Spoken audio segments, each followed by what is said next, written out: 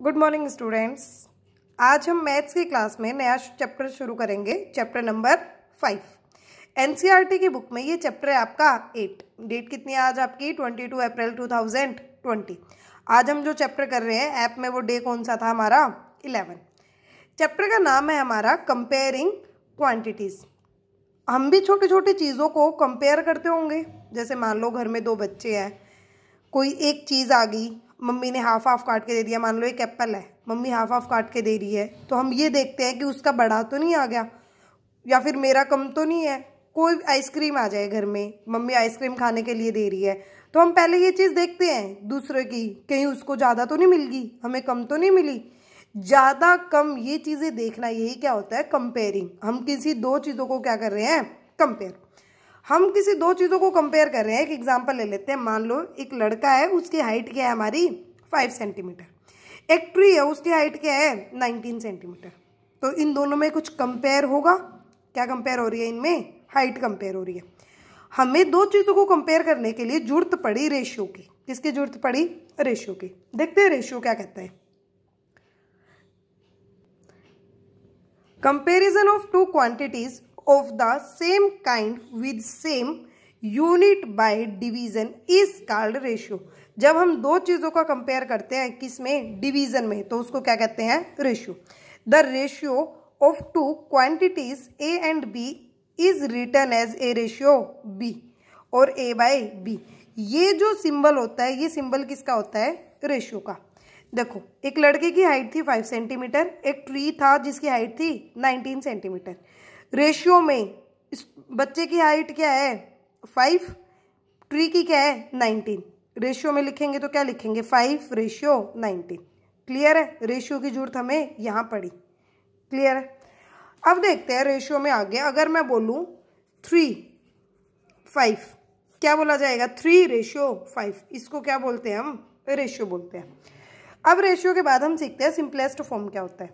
A ratio is set to be in its simplest form if its term have no common factor other than one ये कह रहे हैं कि अगर कोई रेशियो में नंबर है, मान लो फाइव बाई सेवन है, इन दोनों में कुछ भी कॉमन नहीं है वन के अलावा तो ये क्या है? सिंपलेस्ट फॉर्म है।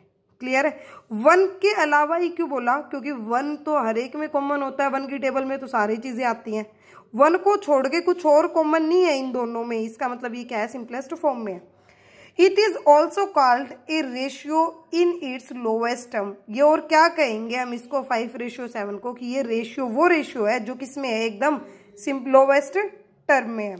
एग्ज़ाम्पल ले लेते हैं फोर बाय नाइन दोनों के दोनों क्या है? सिंपलेस्ट फॉर्म में है कैंसिल नहीं हो रहे वन के अलावा। Thirteen by seven fifty one by nineteen नहीं हो रहे। अगर मैं बोलूँ, एक क्वेश्चन है आपके पास seventy two by one hundred sixty two इसको सिंपलेस्ट फॉर्म में आप एक्सप्रेस करो। कैसे करेंगे, देखो। 72 two by one hundred sixty two है। सबसे पहले शुरुआत करेंगे टू की टेबल से कैंसिल करने में। टू थ्री ज़ा सिक्स टू सिक्स ज़ा ट्वेल्व थर्टी सिक्स आ गया कैंसिल हुआ तो टू की टेबल से। टू एट ज़ा सिक्सटीन, टू वन ज़ा टू। एट्टी वन आ गया, टू के टेबल से कैंसिल हुआ तो। अब एट्टी वन, टू के टेबल में नहीं आता। टू के बाद आगे बढ़े हम थ्री पे। थ्री के टेबल में थर्टी सिक्स आता है, थ्री वन ज़ा थ्री थ्री टू ज़ा सिक्स। थ्री के टेबल में एटी वन आता है, टू, थ्री ज़ा सिक्स थ्री टू ज़ा सिक्स, टू बच गया, टू सेवन ज़ा, ट्वेंटी वन। क्लियर है? दोनों के दोनों फिर दोबारा थ्री के टेबल में आते हैं। थ्री फोर ज़ा ट्वेल्व थ्री नाइन ज़ा ट्वेंटी सेवन मतलब क्या आ गया? Four by nine. रेशियो में लिखेंगे तो फोर, रेशियो नाइन। अगर मैं आपको बोलूँ, six one by five, ratio two one by three है। सिंपलेस्ट फॉर्म में लिखो। पहले इसको मिक्सड को इम्प्रॉपर में बनाएँगे। क्या होगा? इन दोनों की मल्टीप्लाई ऐड करते हैं ऊपर वाला। सिक्स फाइव जा thirty plus one. Thirty one by five हो गए यहाँ तक। टू थ्री जा six six plus one, seven by three. हो गया। रेशियो का मतलब क्या होता है? दो चीज़ों का डिवाइड होता है। मतलब thirty one by five divide seven by three divide को कन्वर्ट किसमें करते हैं? मल्टीप्लाई में। जब डिवाइड को मल्टीप्लाई में कन्वर्ट किया तो आगे वाले का क्या हो गया reciprocal ninety three by thirty five ये है क्या सिंपलेस्ट फॉर्म में? है? क्योंकि 93 और 35 दोनों किसी एक के टेबल में नहीं आते। वन को छोड़ के। मतलब ninety three ratio thirty five क्या है इसका? आंसर नेक्स्ट देखो। Zero point eight ratio zero point six मैंने रेशियो है डिवाइड में लिख लिया। रेशियो से रेशियो क्या डेसिमल से डेसिमल क्या हो गया? कैंसिल क्योंकि एक एक डिजिट के बाद था। मतलब क्या हो गया? Eight by six two a table में आते हैं टू फोर ज़ा एट टू थ्री ज़ा सिक्स मतलब four by three four by three को रेशियो में लिखेंगे four ratio three simplest form जानने के बाद, अब है हमारा इक्विवेलेंट रेशियो इक्विवेलेंट का मतलब क्या होता है? जो चीज़ें दे रखी उसको हम आगे बढ़ाएँ। यही होता है।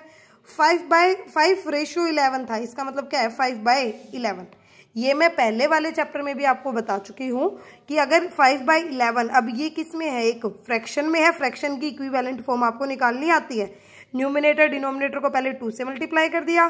फाइव टू ज़ा टेन इलेवन टू ज़ा ट्वेंटी टू फिर थ्री से मल्टीप्लाई कर दिया। Five multiply three eleven multiply three कोई डाउट है? ये जो रेशियो है, उसको फ्रैक्शन में कन्वर्ट किया। टू रेशियो सेवन का मतलब two by seven. Two by seven fraction के चैप्टर में हम सीख चुके कि हम कैसे निकालते हैं इक्विवेलेंट फॉर्म न्यूमिनेटर डिनोमिनेटर को जब मल्टीप्लाई करेंगे टू से पहले तो दोनों जगह टू से।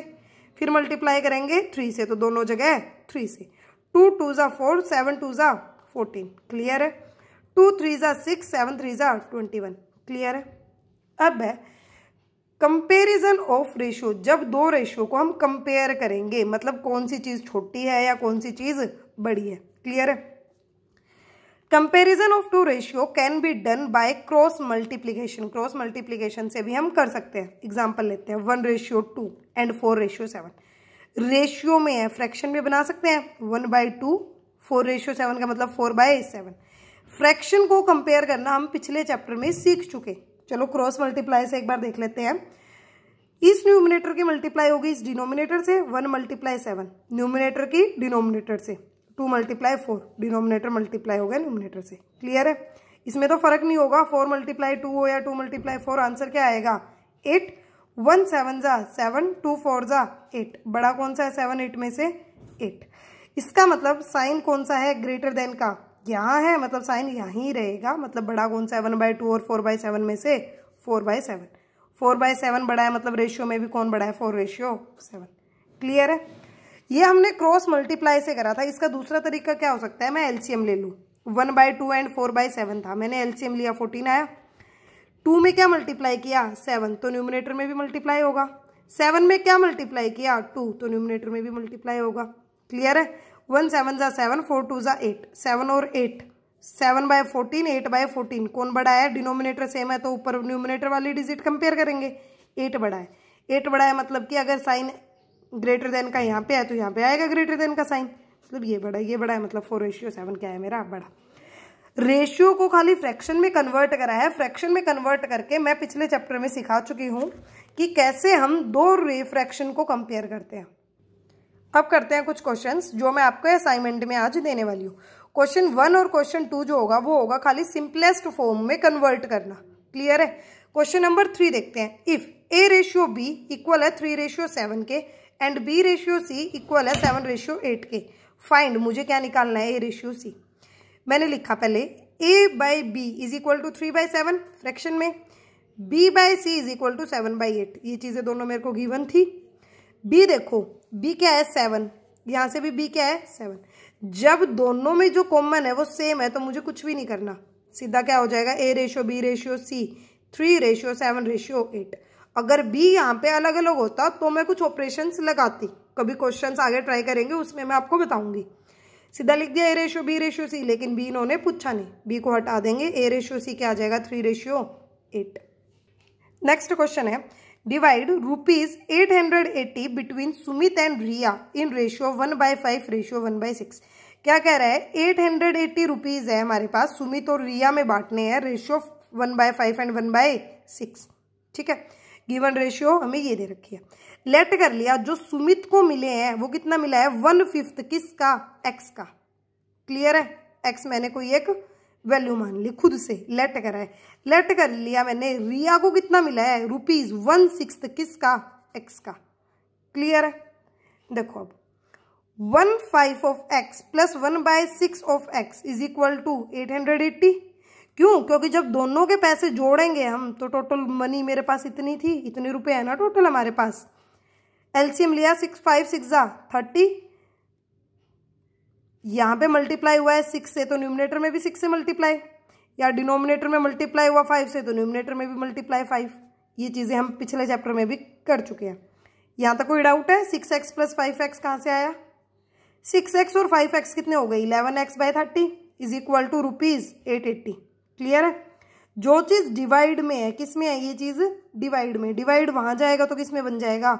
मल्टीप्लाई में। जो डिवाइड है वो उधर जाता है तो किसमें कन्वर्ट हो जाएगा? मल्टीप्लाई में। क्लियर है? मल्टीप्लाई किसमें कन्वर्ट होता है? डिवाइड में। इलेवन मल्टीप्लाई में था। कहाँ चला गया? डिवाइड में। क्लियर है यहाँ तक? इलेवन वन ज़ा इलेवन इलेवन एट ज़ा एट्टी एट और ज़ीरो मतलब क्या आ गया X eighty multiply thirty eighty multiply thirty क्या होता है? ट्वेंटी फोर हंड्रेड एक्स की वैल्यू है ट्वेंटी फोर हंड्रेड सुमित को कितने मिले थे? वन फिफ्थ ऑफ़ ऑफ़ का मतलब मल्टीप्लाई किसका? एक्स का। देखो, मैंने ये चीज़ मानी थी ना one by five X X की वैल्यू रख दी। Twenty four hundred five one ज़ा फाइव फोर ज़ा ट्वेंटी एट ज़ा फोर्टी और ज़ीरो क्लियर है?